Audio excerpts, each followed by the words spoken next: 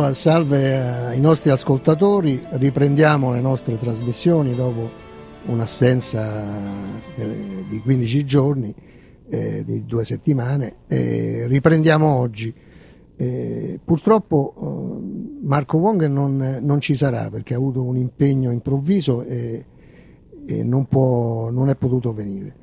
E noi comunque oggi eh, sarà una trasmissione un po' particolare perché parleremo eh, di, di, varie cose e alla fine invece che di, di un film parleremo oh, di un concerto, di un concerto di una uh, orchestra persiana, però formata da vol, tutti, tutti, italiani che non sono eh, professionisti ma sono persone normali eh, che si dedicano a questa, a questa, musica, a questi strumenti eh, particolari e, e anche mh, particolari sono i temi, le note eh, della musica e insomma spesso forse questa è stata fatta all'auditorium eh, si percepisce meglio questa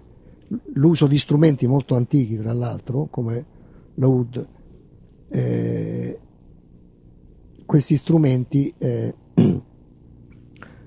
che vengono, vengono, suonati da, sia da eh, Pejaman Tadayon che il, eh, quello, il, l'organizzatore, eh, l'anima di, di, di, questa, eh, di, questa, orchestra, vengono, oh, vengono suonati questi strumenti in, in, ambienti più piccoli se ne percepisce eh, il vero suono eh, di questi strumenti. Certo con l'amplificazione eh, si sente tutto in, una, in, un grande ambiente, è necessaria eh, l'amplificazione da questo punto di vista.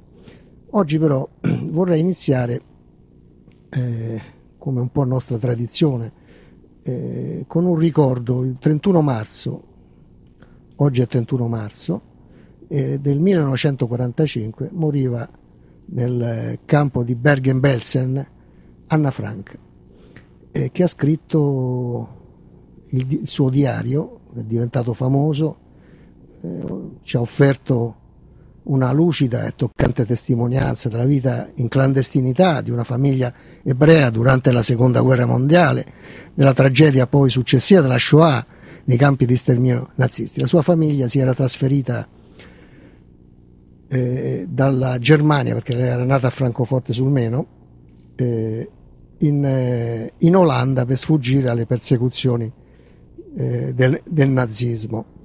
Eh, però poi i tedeschi sono arrivati anche, anche in Olanda, prima eh, di conquistare la Francia, arrivarono passando per l'Olanda, poi per il Belgio e quindi eh, loro dovettero trovare un alloggio segreto, eh, una, un alloggio segreto in cui appunto questa bambina, poi ragazza, eh, ha, ha, tenuto questo diario in un, eh, dire, in un piccolo mondo eh, formato da, dai suoi genitori e da queste persone eh, che, che li ospitavano, senza poter mai vedere il mondo il mondo esterno. Quindi morì di tifo il 31 marzo appunto del 45, tre settimane prima, pensate, dell'arrivo dell'esercito inglese. Eh, adesso attualmente la casa in cui fu, uh, visse da rifugiata Anna e la sua famiglia eh, è un museo. Il padre fu l'unico a, a sopravvivere eh, al lager, Otto Frank, è lui che eh, ha poi preso gli scritti di Anna e, e poi li ha fatti, li ha fatti eh, pubblicare.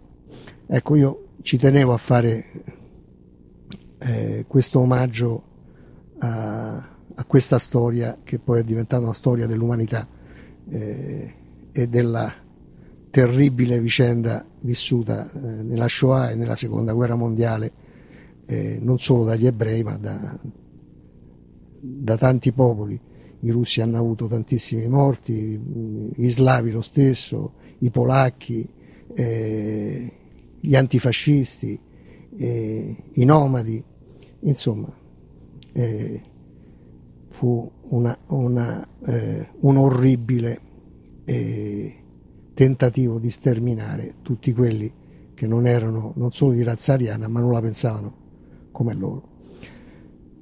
Eh, adesso l'altro argomento eh, che vorrei trattare è questo oh, diciamo di attualità che è quello della, della Francia e del Belgio eh, sottoposti a questo attacco terroristico. Eh, diciamo, ho letto alcune cose, una mm, mi ha convinto molto, anzi due mi hanno convinto molto. Massimo Cacciari che eh, dice in un, in un, articolo sull'Espresso, eh, che naturalmente riassumo, eh, guai a regalare agli stragisti di Bruxelles, di Parigi, di Londra, di Madrid, delle Torri Gemelle la patente di rappresentanti dell'Islam.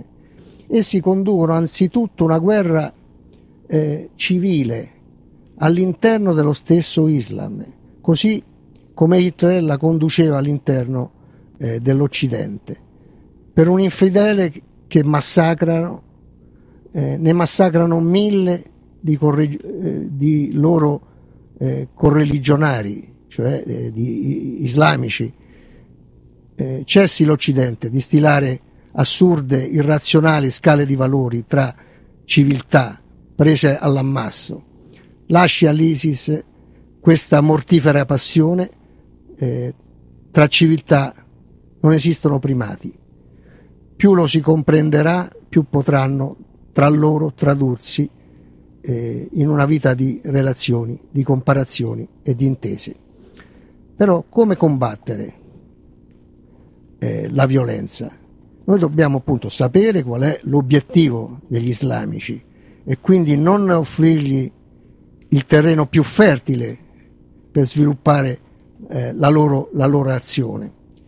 Eh, loro adorano, idolatrano un Dio tremendo che si incarna nel loro sacrificio e in quello delle loro vittime, un Dio che esige inimicizia, l'opposto dell'uno di Avicenna, e qui cita eh, tutti i grandi della cultura eh, islamica eh, e araba, e anche non araba, per esempio persiana, eh, Avicenna, Al-Ghazali, Irihi bin Haral eh, la, la grande mistica Sufi di cui appunto eh, nel, il concerto di cui parleremo eh, fa riferimento a Rumi, che è uno dei mistici più importanti della cultura sufi.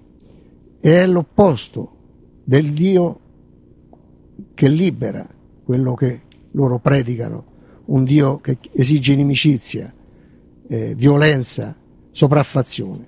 Il Dio che libera, che è misericordioso, che dona a ciascuno la sua propria inalienabile vita. Questo è, è, è Cacciari.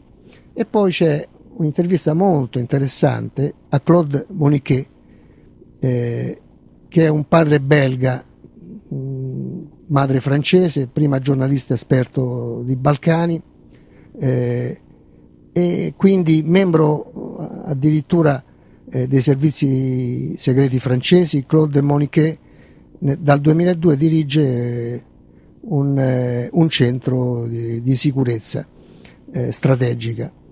Eh, è considerato il massimo esperto di terrorismo in Belgio e ci riceve, dice qui l'articolo, nel suo ufficio. Eh, e dice da dove nascono i problemi del Belgio? La domanda. Il Belgio, come la Francia, e qui la chiave del ragionamento, eh, ha avuto problemi di integrazione, ha una comunità musulmana importante, più o meno il 10% della popolazione, eh, come, eh, come, in Francia, e non, è, eh, e non ha agito con la necessaria decisione contro il movimento salafita.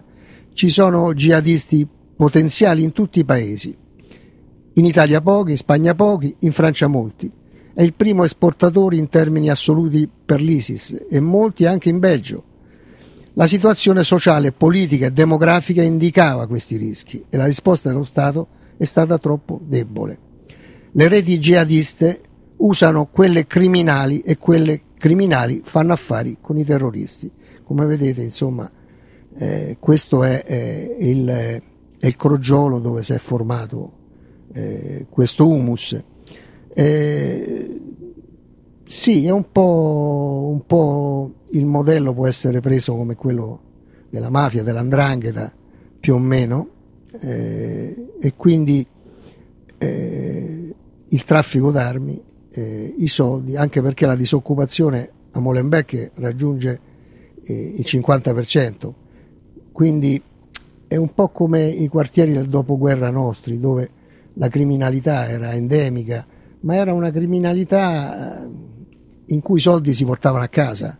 Questo era un po'. No, e questo credo che sia anche quello che succede a Molenbeek, cioè è, un, è un'attività economica normale, eh, rubare, eh, fare spaccio, eccetera. È quello che succede anche in Italia, a Napoli, in Sicilia, insomma, eh, in altre parti. Quindi la, la, l'omertà eh, nasce anche da, dalla difesa di interessi concreti. E poi eh, a un certo punto dice un'altra cosa. E dice il, eh, il Belgio è a rischio mm, come la Francia e come la Gran Bretagna. Perché? Perché sono stati intanto eh, paesi coloniali e questo mm, è stato uno eh, dei problemi eh, che eh, forse non sono stati considerati abbastanza. Eh, e lui dice invece eh, la, eh, la, Spagna e l'Italia corrono meno rischi proprio perché eh, magari l'Italia è stata anche un paese coloniale, ma lo è stato in misura minore, diciamo un paese coloniale di serie B. non ha eh, certo usufruito delle ricchezze, per esempio, ha, di cui eh, si è servito il Belgio depredando il Congo eh, con Leopoldo II, di cui parleremo tra un po'. Eh, quindi questo è l'altro eh, elemento su cui eh, misurarsi. Ecco, io credo che una cosa mi ha, mi ha colpito molto e mi ha colpito